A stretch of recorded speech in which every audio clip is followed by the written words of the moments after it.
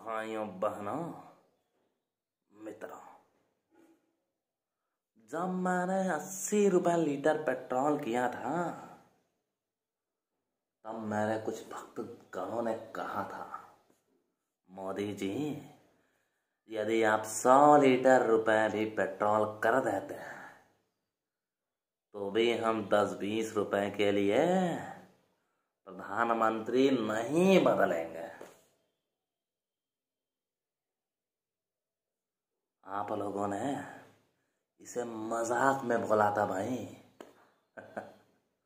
But I take it seriously और आज देखिए, हमारे देश पे पेट्रोल का रेट सौ रुपए छू रहा है भाइयों, बहनों, मित्रों। धन्य है मेरे भक्त, धन्य है मेरे चाटुकार। धन्य है सब सारे बहुत अच्छे लोग।